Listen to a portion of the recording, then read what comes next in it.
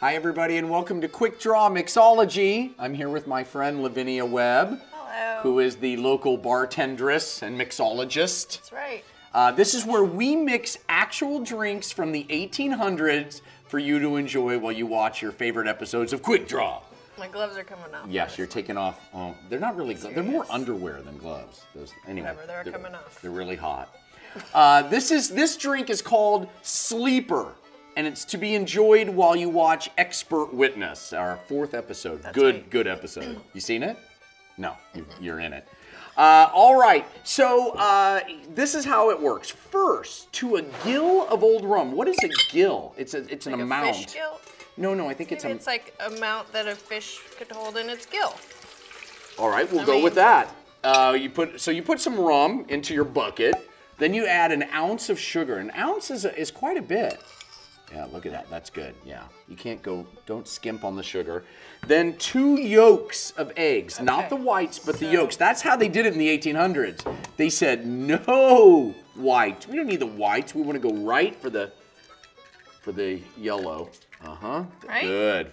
Well done. Thanks. Do you do a lot of cooking? Mm-hmm.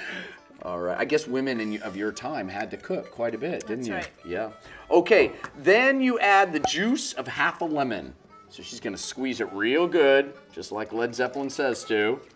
And the lemon juice runs down my leg. You ever hear that song? No, you wouldn't, because you're. This is decades before. All right. Uh, boil a half a pint of water.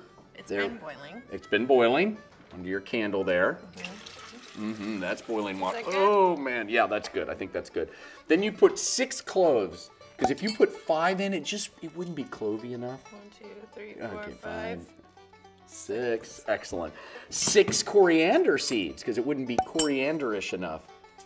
That's not doing anything. You don't need the coriander seeds. I think- that's just for fun. All right, we'll put them in. Uh, and then a bit of cinnamon.